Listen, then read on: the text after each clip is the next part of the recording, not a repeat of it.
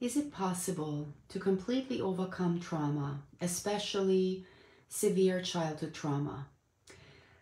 Yes, I want to get into this big topic today. So, for the sake of this conversation, please forget everything you might think you know or think about trauma. I want to explain what trauma really is, what the symptoms of trauma are, so that you can find this is something you might be experiencing and of course, most importantly, what somebody can do if this is what they experience, if this is how they have lived for as long as they can remember, what they can really do to get to the other side of it. I think that's the most important part about this conversation. So, number one, yes, yes, it is absolutely possible to completely overcome the symptoms and the consequences and the ramifications of childhood trauma. And again, I'm going to explain to you what those are. Obviously, for the sake of this conversation, I'm not going to get into every detail, but even those 10 items that I will list out for you, you will have a good understanding whether this is something that you might be experiencing. And also, I think it might be interesting to immediately share with you how would you even know whether you have overcome um, childhood trauma or trauma from the past, PTSD, as it is often referred to, right? Post traumatic stress disorder or even anxiety, depression, those are often the symptoms, right, of trauma.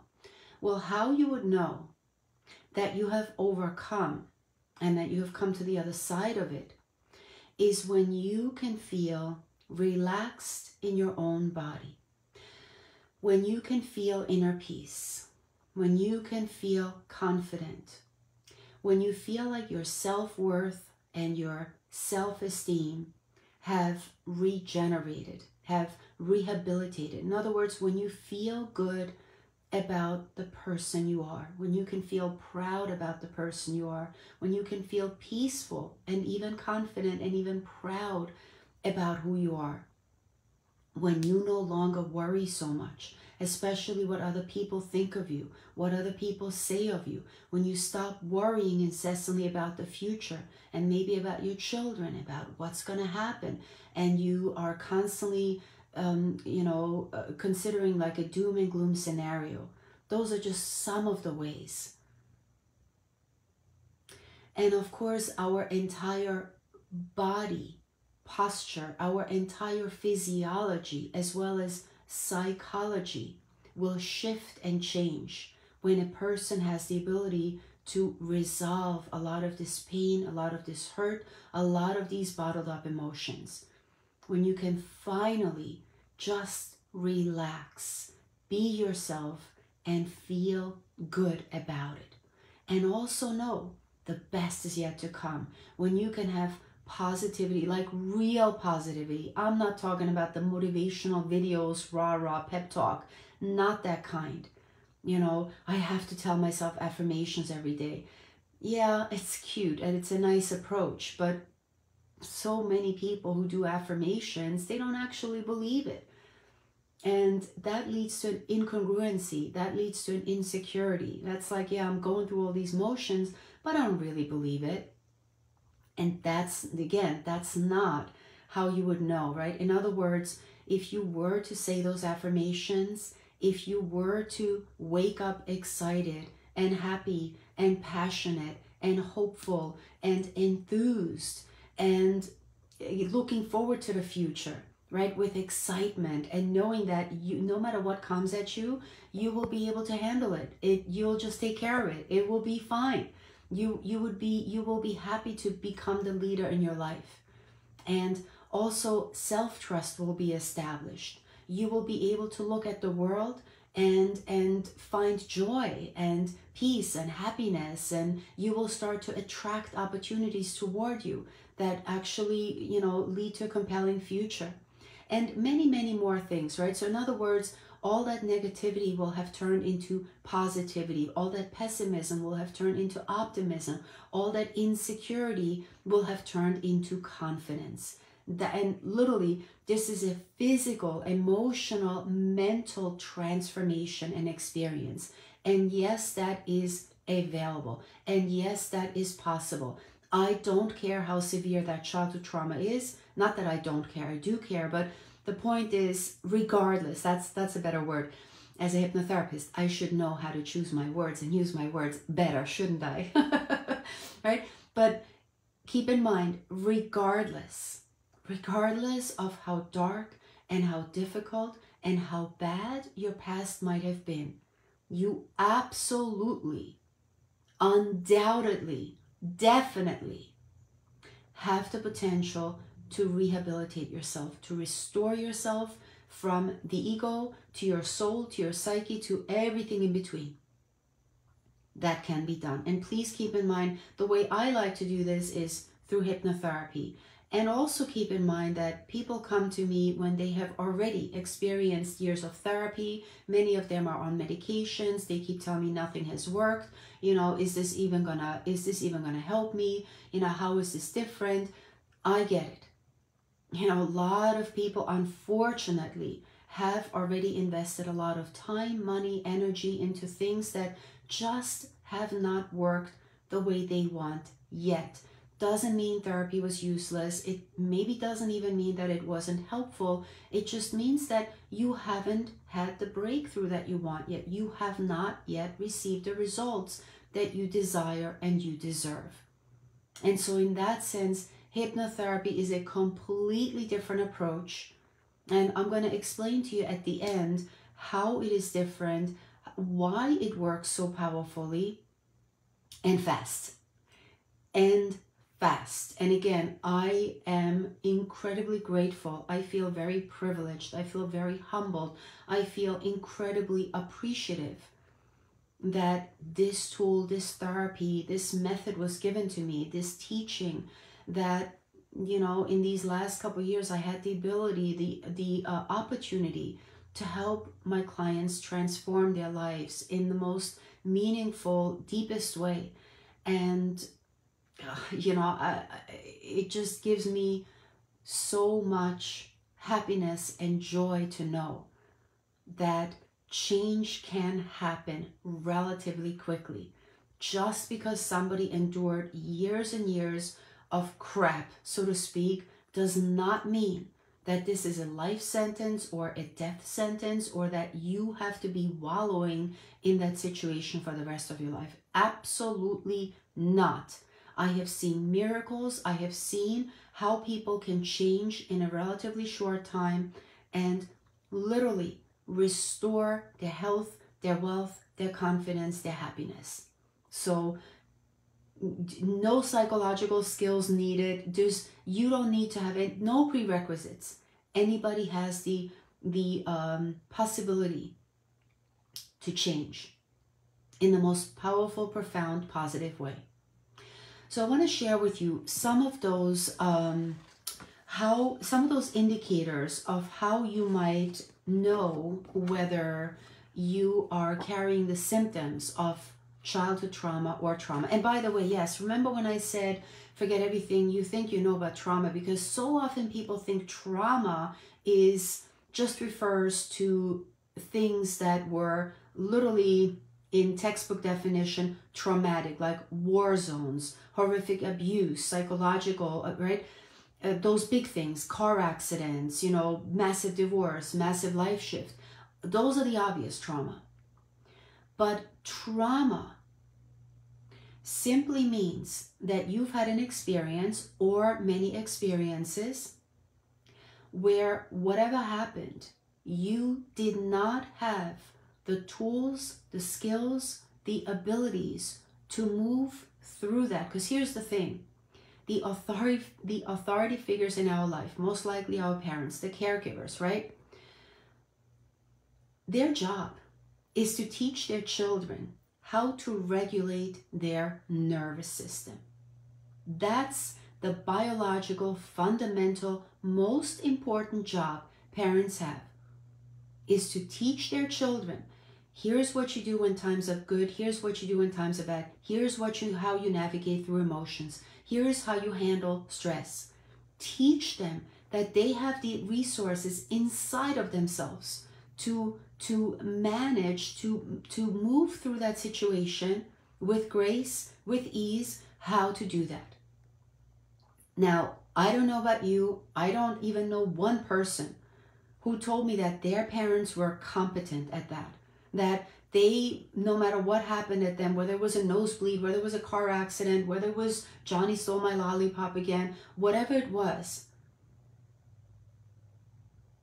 how many people do you know that actually were taught how to tap into those re- resources, how to use your emotions, how to use your logic, how to use your intelligence, and how to move through those situations with ease, grace, and confidence? Most people were not brought up with these skills. And so if you've had moments, one or several moments, where you didn't, something happened, something hard, for, for you hard.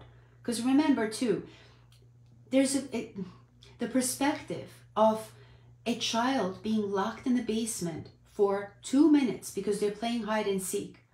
And but now the child feels like, oh my God, this has been a long time. Maybe they forgot about me. Maybe they don't love me. Maybe a child's perspective of what trauma, okay, or what a difficult experience is, is completely different than that of an adult. So it's not fair to say, oh my God, it was just two minutes you were locked in a basement, what's the big deal? To a child, that two minutes might have seemed like a lifetime. To a child, that two minutes might have been comprised of, I completely forgot we were playing hide and seek. I, I thought that my parents forgot me here. You know because a, a, child lives in the world of fantasy. A child lives in the world of imagination. And there's so many things that could happen literally in seconds. And all of a sudden a child is off in another world thinking and believing certain things. And and maybe it wasn't even a difficult situation but most likely there was a moment that was overwhelming you did not have the tools the skills the abilities to move and navigate through that situation with ease and with competence and with grace or whatever else so that you can be like, ah, this is what I need to do. Take some deep breaths, or, you know, if when mom gives me a hug, I feel comforted, I feel safe. Ah, everything's going to be okay again. No, chances are, however you got through, in those moments, you felt panic, you felt fear, you felt forgotten, you felt abandoned, you felt neglected, you felt abused, and many, many other things. And here is what's important. Not only did you feel a lot of these emotions that were very difficult to take, very hard to move through, very um, overwhelming, but very often what also happens in that experience is we start to um, we start to install unconsciously, please, unconsciously, not on purpose, we start to develop a certain belief about ourselves and about the world. I'm going to give you an example of how a person experienced lifelong anxiety, severe anxiety. And when we got to the root cause, when that man, a lawyer, 45 years old, got to the root cause of what caused the anxiety, in moments, the anxiety lifted, the fear shifted, gone. He literally got to understand what caused this anxiety. And what caused this anxiety for him, when we got to the root cause, was he was five years old. His mother, unfortunately, passed away due to an awful illness. Everything happened very, very quickly. And maybe somebody explained to him that his mother was dead or and sick and whatever. But to the child, what how he interpreted all of that and again, remember, through the child's intelligence of a five year old, he basically decided, my mother doesn't love me, and this is why she left me. And so, if I can't be loved, there must be something wrong with me. I'm somehow broken, something is not right with me, and therefore, he literally started to believe that not only is he blemished and broken and somehow defect, but because of that, he cannot be safe in the world. If his own mother can't even love him, if even she leaves him, then what does that say about him? So he decided that the world isn't safe, you know, I'm no good, I'm a no good. And that was the onset of his anxiety. So just logically think about, right? Think about what might happen if a child starts to believe, I am no good, my mother doesn't love me, I, you know, I deserve to, to be deserted. How could that person possibly grow up feel safe, feel confident, feel good about who they are, feel excited about the future, feel like, yes, here I am, world, you know, I'm here to start my business. Lifelong anxiety. And he muddled and pushed his way through law school and, and life and all of that. But it was always with the undertone of fear and stress and pressure, and I am not enough. And he finally had the ability to relax and to understand himself on a completely different level. So, some of those symptoms that, again, I recognize when I communicate with people, you know, the writing is on the wall, so to speak. So, if you experience things like persistent worrying, you know, constant worrying, whether it's about the future, it's about yourself, it's about your health, it's about your kids, it's about your pets, always thinking that the bad is going to happen. Number two, overthinking plans, overthinking conversations, overthinking goals, thinking about the worst possible outcome. What if this happens? What if that happens? I should have said this. What if he thinks this of me? What if she thinks that of me? How could I make that better? How, you know, what are they going to think of me? Oh, I'm I was 5 minutes late. How are they going to blame me? Constant overthinking self-judgment, right? Number three, perceiving situations and events or people as threatening. And again, remember, we learn so quickly in our childhood. For example, if you were raised by authority figures that were very strict, that were constantly criticizing you, that were constantly shaming you and blaming you, and nothing was ever good enough.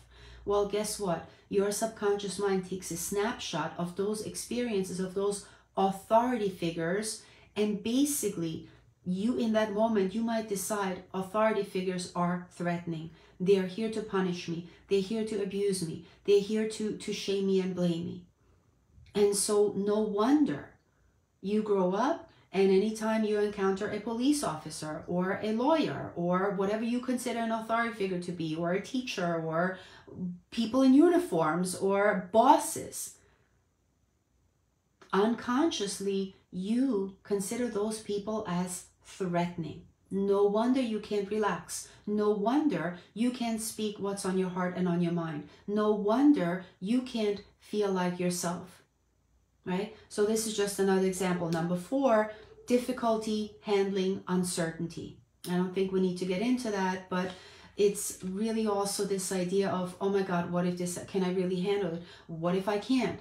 and expecting the worst case scenario. Number five is indecisiveness and fear of making wrong decisions. You know, if you've ever been in a place of, I just can't make, make, make up my mind, I just don't know. What if I say this? What if I say that? Should I do this? Should I do that? And it becomes a constant ping pong, and so much time goes by. And this uncertainty and difficulty making decisions, yeah, again, because chances are when you did make decisions when you were a child, you were most likely punished for it or you were criticized for you know uh, why you didn't pass the test and why you you know hang out with these people and what's wrong with wearing those clothes and why did you pick that haircut or whatever it might have been right? Number six is and this is a big one an inability to relax always feeling like on edge irritable restless and this is the typical scenario for you know workaholics right? People who and and addictive behaviors that you know you take that person and they finally are on vacation. They finally get to spend time with their family. They finally get to quote unquote relax take time for themselves but they cannot. They're not able to. Not because they don't want to not because they don't deserve it. It's simply because they haven't been taught how to relax. They haven't given permission to relax. And so you give these people the best circumstances. You give them the most beautiful surroundings. You give them all the luxury. You give them the most comfortable bed. They have not yet learned how to relax. Instead, they're checking their phone mercilessly. They're checking their emails. They're responding to everything. They constantly feel like they should be doing something. They often feel guilt. I should be at work. I should be helping out. I should be checking in with my boss. And so, and you can just imagine what this can cause in a family, right? In a in a relationship, you know, that will then often lead to the people that really need your love, they really need your attention. Well, now they're not getting it either, and because you cannot give it, you haven't learned how. You haven't even learned how to give yourself attention and love and appreciation, right? And so, or or weekends, right? Having a hard time shutting off, shutting down, just lounging around, just relaxing.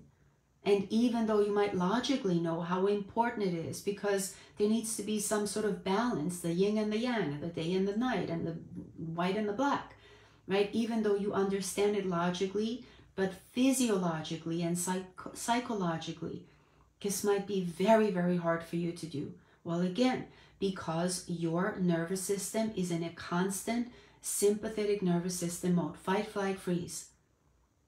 And that is a massive indicator of childhood trauma. A person who just really doesn't know how to shut off, how to shut down. And remember, this has eventually become a bad habit.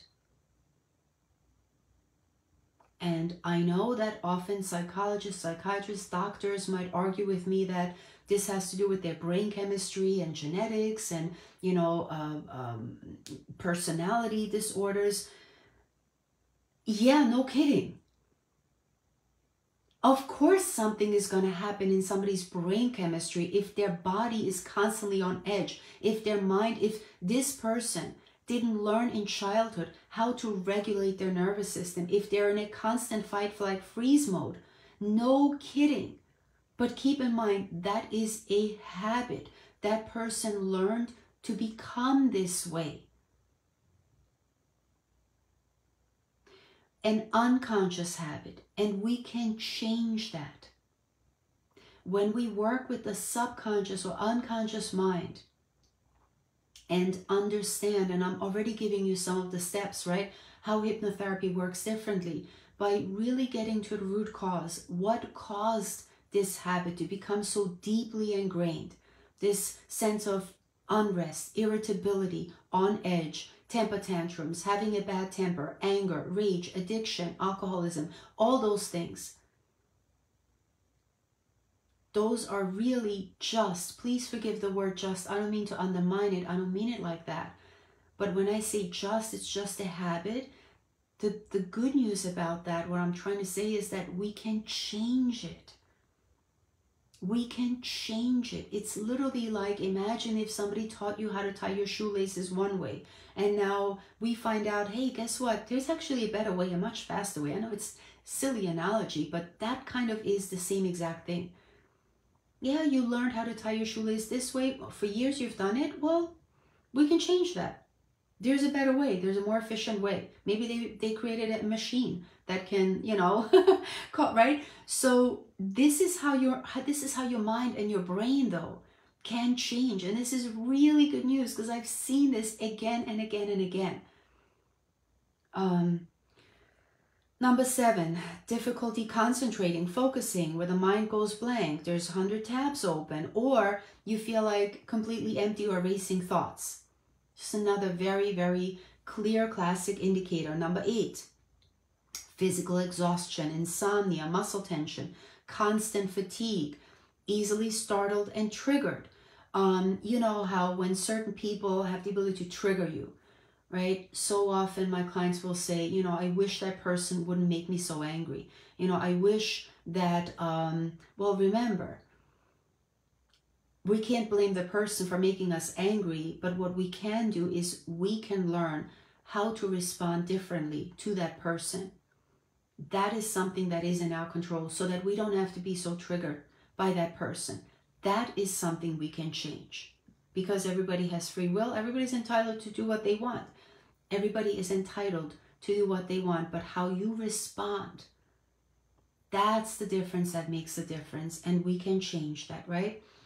Um, so yeah, nervous, shaky, uncomfortable in your own skin, headaches, dizziness, ears ringing. Those are all indicators that these are symptoms of childhood trauma or even past trauma. Number nine, and this is big, big, big, big, big. This is actually one of the things that I love to approach first when I get to work with my clients is this constant inner negative self-talk, self-criticism, self-blame, self-shame, self-loathing. You should be better. You should do better. You should have figured this out you should be further along what's wrong with you you're such a failure you you know why haven't you done this yet and you should be like such and such and you will never amount to anything and it's too late for you and you're too old and again indicators of low self-worth but the truth is that actually it's not that your self-worth is low you have been taught how to do, how to be, how to have low self worth. Okay, you have been taught how to become that person.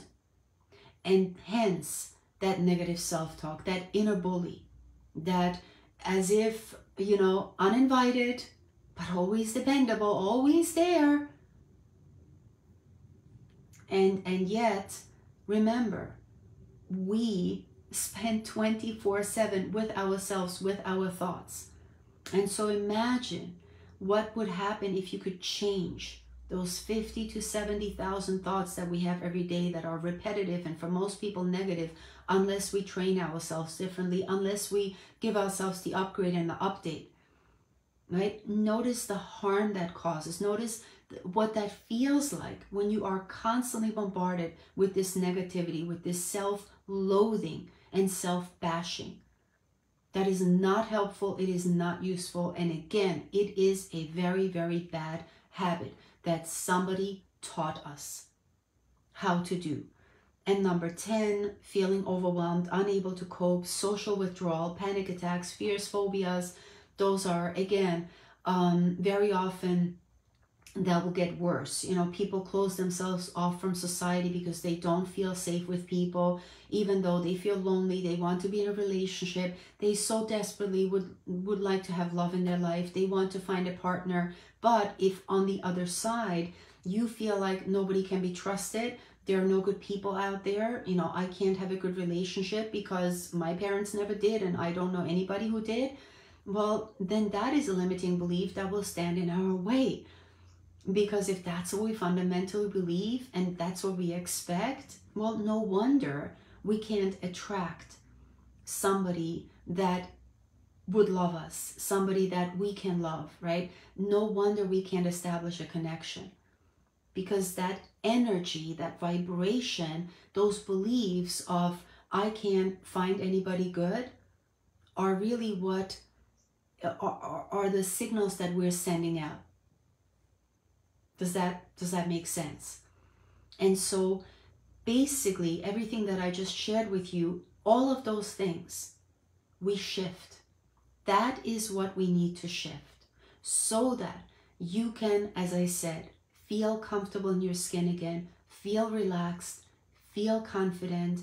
Most importantly, begin to grow and and um,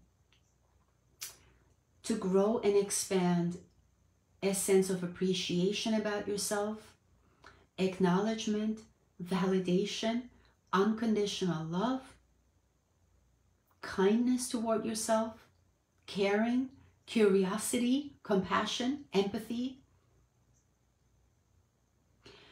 As if like turning the page, starting over. As if you could just let go of all of that baggage let go of anything that doesn't serve you, and have the ability to take all of the good and the bad and the ugly. Because here's the thing believe it or not, a lot of those things that you experienced, whether it was in your childhood or during those traumatic events, what we also find underneath all of that, even though, yes, there was a lot of hurt, a lot of uh, pain, a lot of anger, a lot of shame, guilt, whatever it might be. But underneath, there are a lot of inner resources that are available to you that you have not yet tapped into. And once you uncover those and embody them and you become that person, that's when you can start to feel whole and complete. It's just that those resources, those positive, powerful, potential resources that are available to you, that also is you. Right now, they're just polluted by all of this gunk, by all of these negative emotions, by all of those limiting beliefs. Right? And you can just just think about most of the day, what are you thinking and feeling? What is your vibration most of the day? Are you spending most of your day in anger and fear and sadness, hurt, guilt, shame? Or are you spending your day in positivity, joy, enthusiasm, expansion, hope, you know, feeling happy, gratitude? And same with beliefs. What are your beliefs? Do you believe, oh my God, if things are just going to get worse, there's going to be a recession. What if that my political candidate? And what are you consumed with in your thoughts? And I can't. Nothing's going to ever work out for me. And I'm only going to get older. I'm only going to get weaker. I'm only going to get sicker. Things are just going to go worse and worse and worse. Where are you spending? Where is your mind at? And if we continue, right, believing and thinking about those limiting beliefs, well, guess what's going to grow? where our energy, where our focus goes, our energy goes, and that is what's going to start to and continue to expand.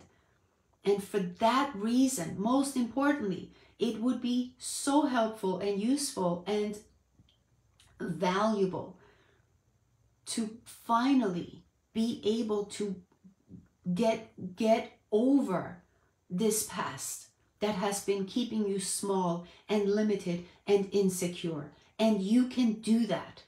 No questions asked. It is absolutely possible.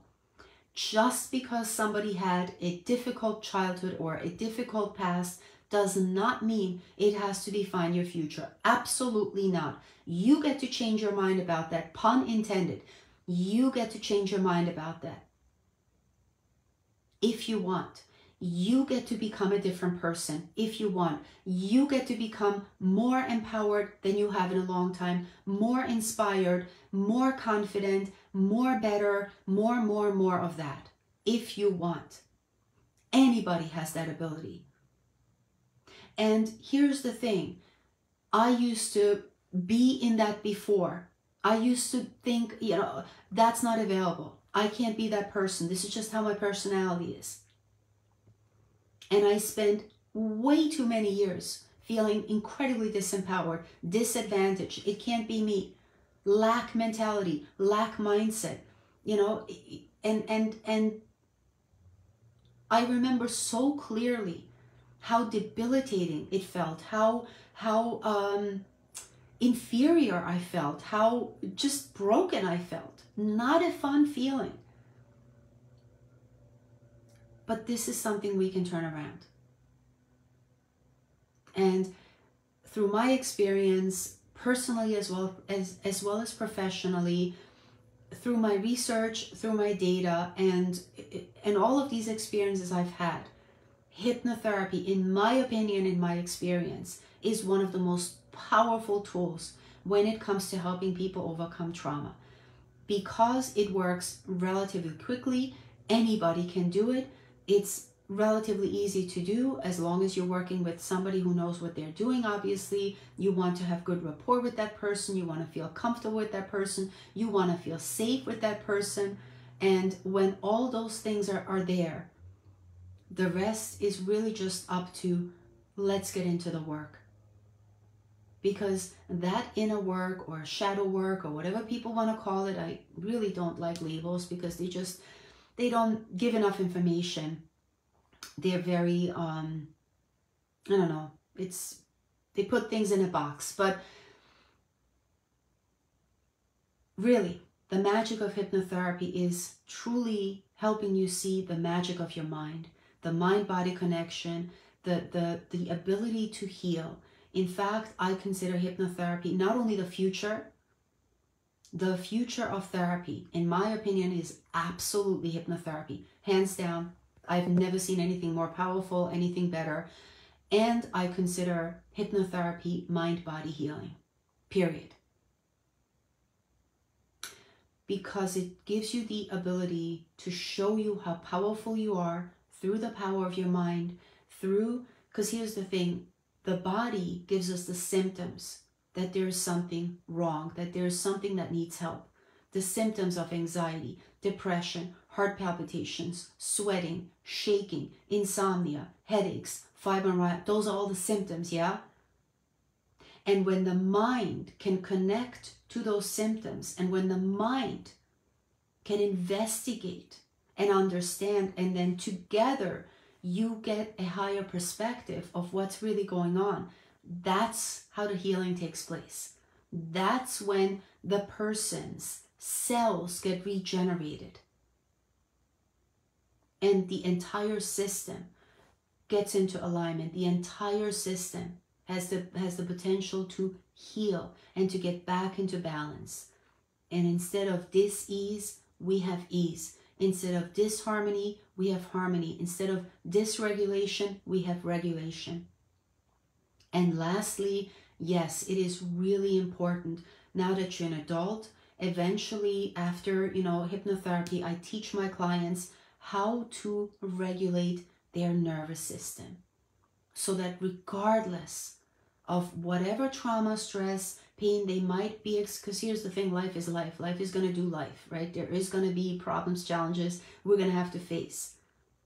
But how you respond to those, right? Instead of frantic and stressed out and freaked out, how you respond differently is going to make the difference in you being able to move through that with a clear head, with confidence, with equanimity, with inner peace, with strength, with resilience, with courage, and most importantly, an unshakable, unbreakable faith within yourself that you absolutely can.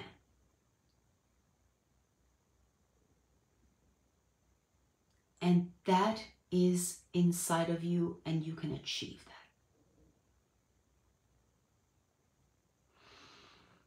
Hope this was helpful. I'll see you soon. Remember to be good to yourself.